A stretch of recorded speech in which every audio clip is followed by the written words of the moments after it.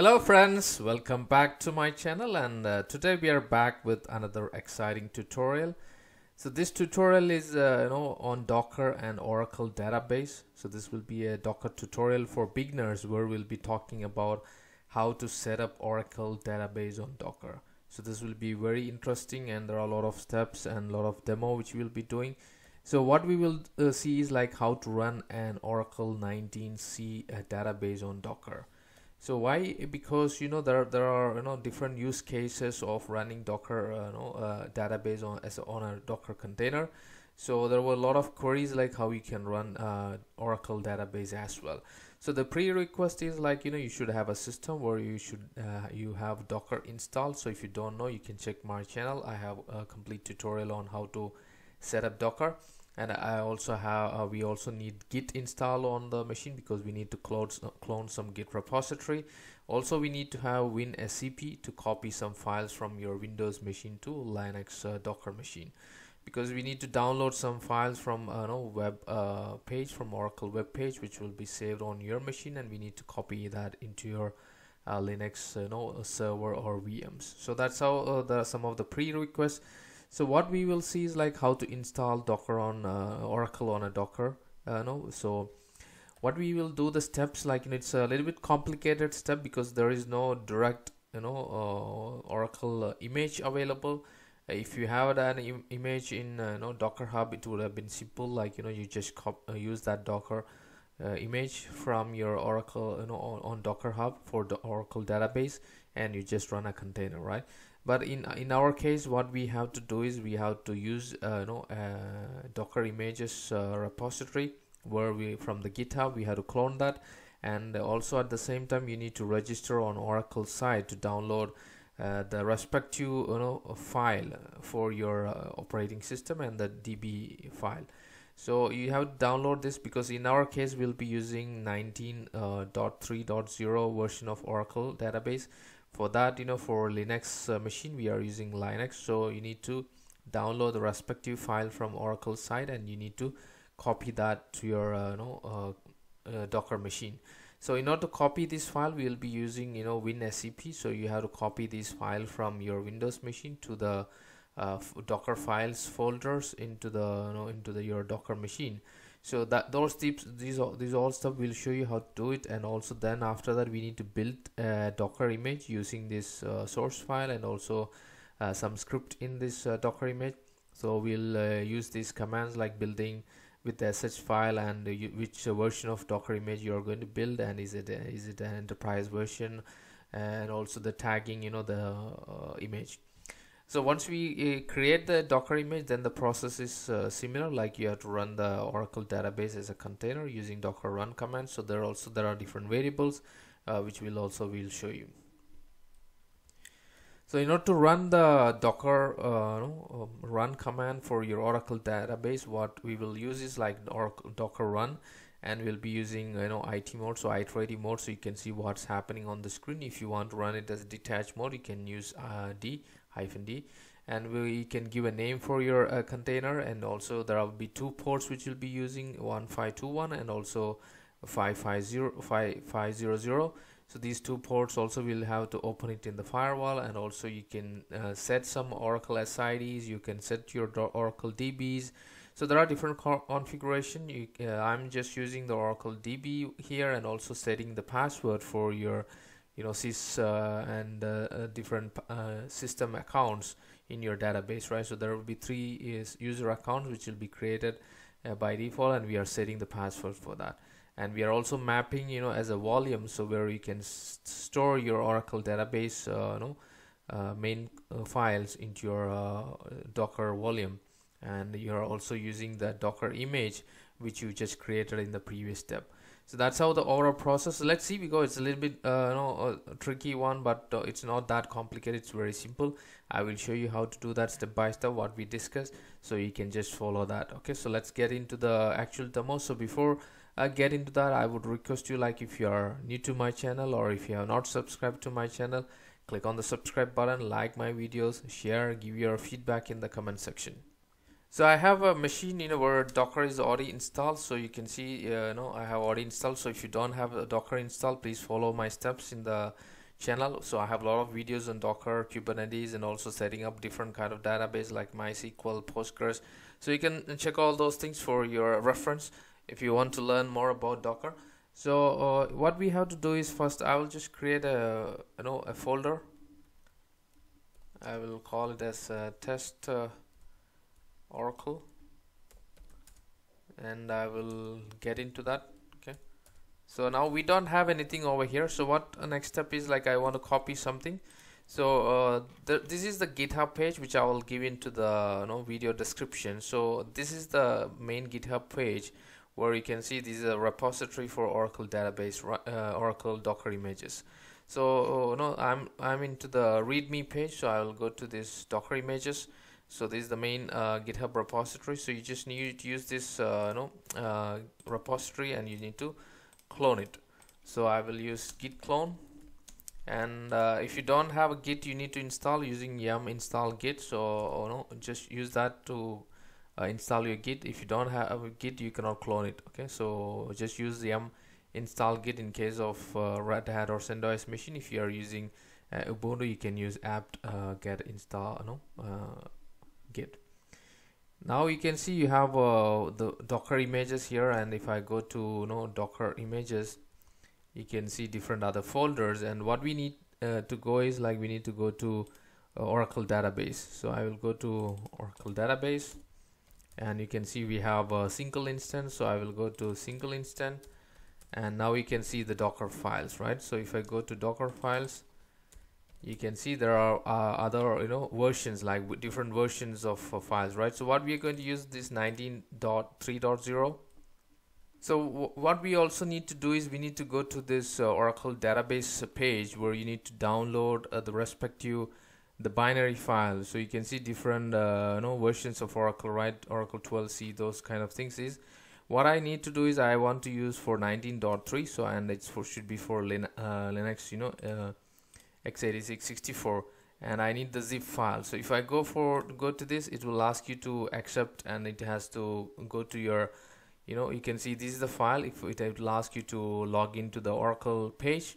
So you need to register it and you need to log in so you should be able to download it. So I already have downloaded it so you can see I have the file already here. And what I also have is I have uh, the WinSCP setup and I have you know the um, the system also configured so to where I have to copy it so uh, I will just refresh it.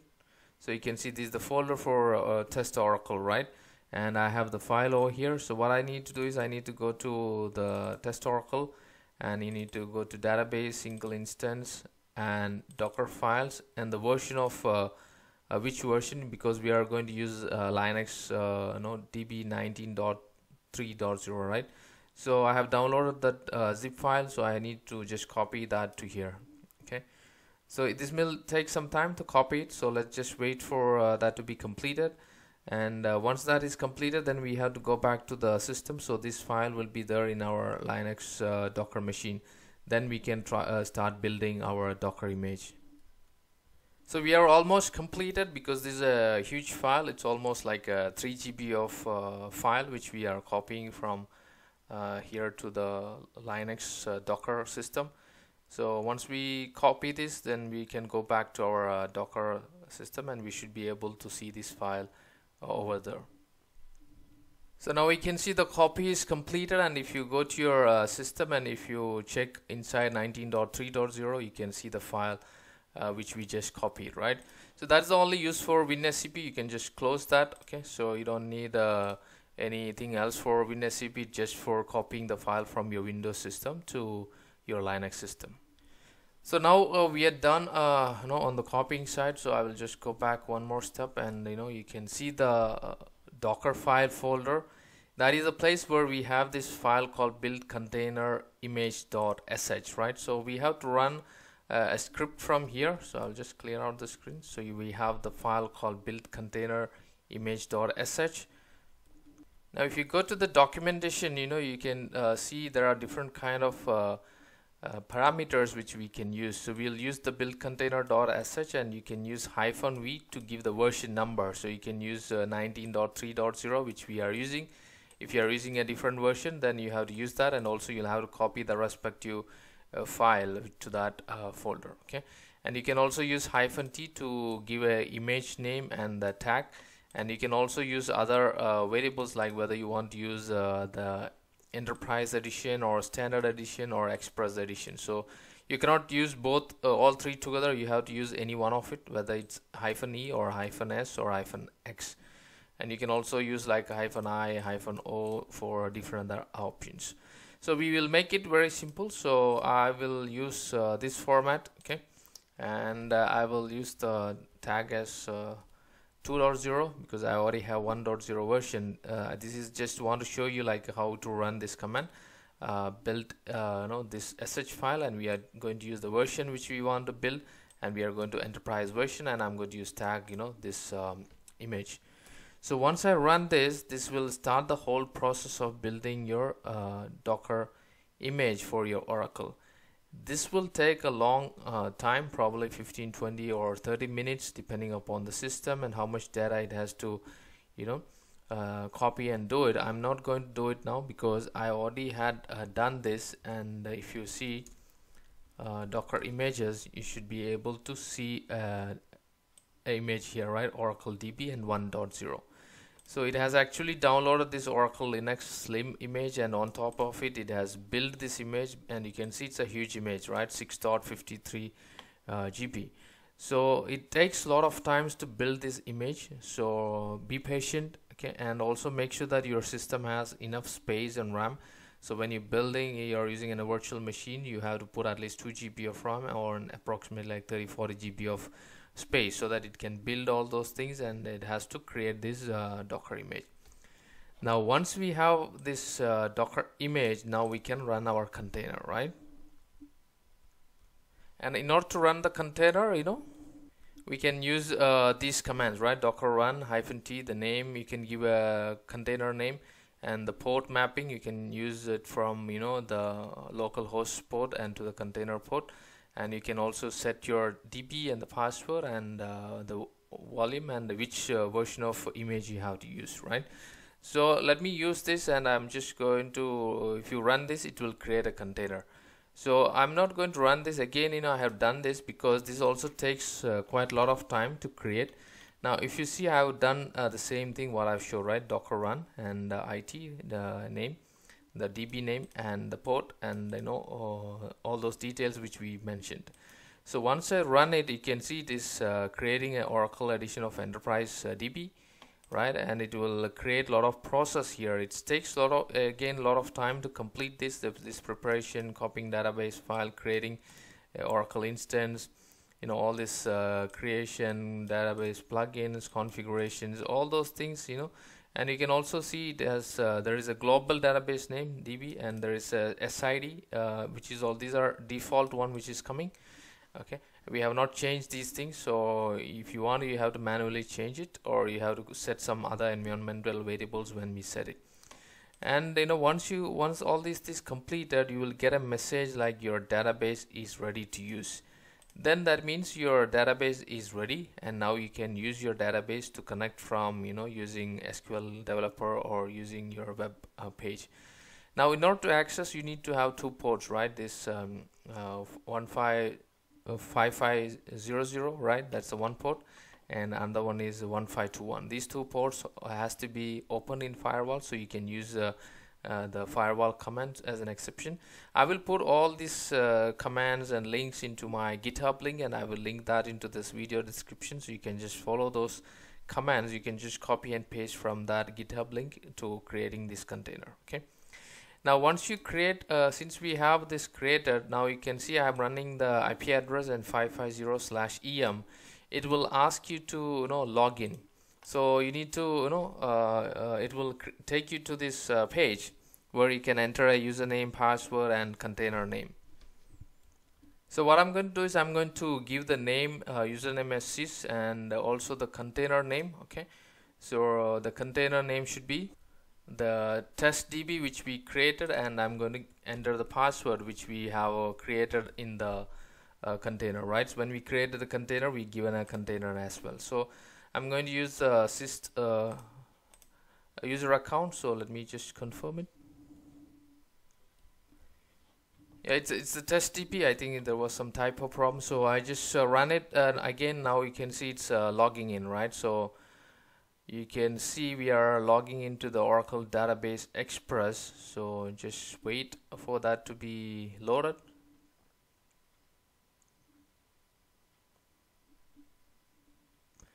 Yeah, we can see, you know, we are inside our Oracle Enterprise Manager where you should be able to see the details over here, right? So active sessions, memory, uh, all those things are over here. So you can see the performance hub, you know, you, we are inside the test DB now, right?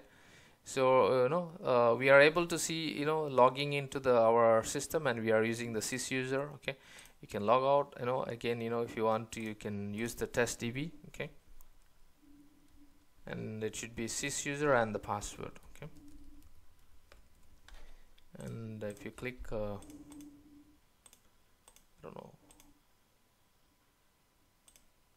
I don't know why it's not taking in the first instance maybe some space.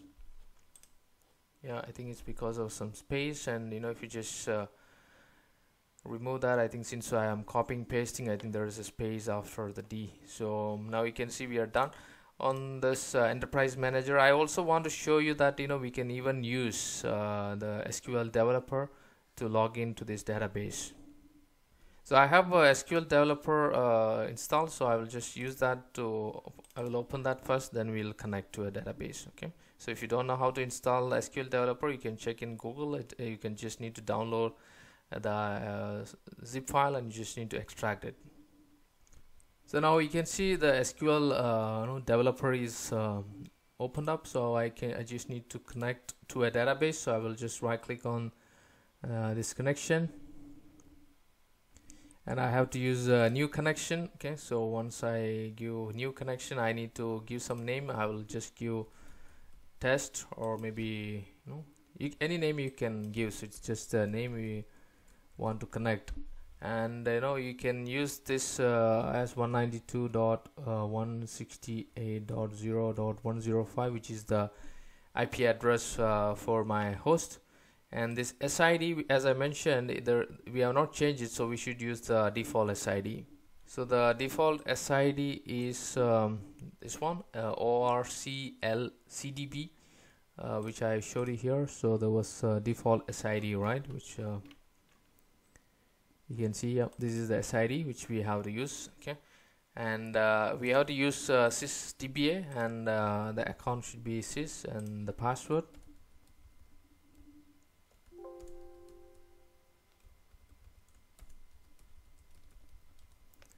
So once I give the password you can click on connect. Now you can see we are connected to the Oracle DB right and you can see it's uh, bringing on the tables views and those all kind of things users right? What all the users available. Uh, right so there are different uh, users here. Def these are all default one okay? So what we are using is uh, like sys user. There is also different other users uh, you know which are available so these are all the basic uh, configuration. It's not a database uh, know, tutorial uh, to see how tables and queries and that is not the purpose of this video. Uh, but I want to show you like you can also use uh, you uh, SQL developer to connect your DB you can disconnect it know, once you're done you can disconnect and you can delete it from the list as well. So that's all I wanted to show you like once the database running you can access it from SQL developer and you can make any changes you want so that is all for this tutorial. As i mentioned all this information i'll put it into the github link so you can just copy and paste all the commands. So when you're creating the docker uh, containers for oracle db it will be definitely helpful you know as a, a beginner uh, for docker. And also if you want to set up your oracle database on docker this will be a great tutorial where you can learn how to set up and you can start connecting to your application and creating your queries. All those things you should be able to do it once you set up your container.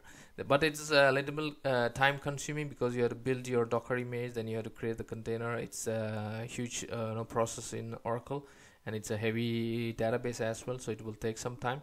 So but i'm sure it will be helpful. So uh, i would request you like you know if you like this video if you want to see more videos like that like this please uh, subscribe to my channel uh, like my videos share give your feedback in the comment section and uh, thank you for watching. See you next time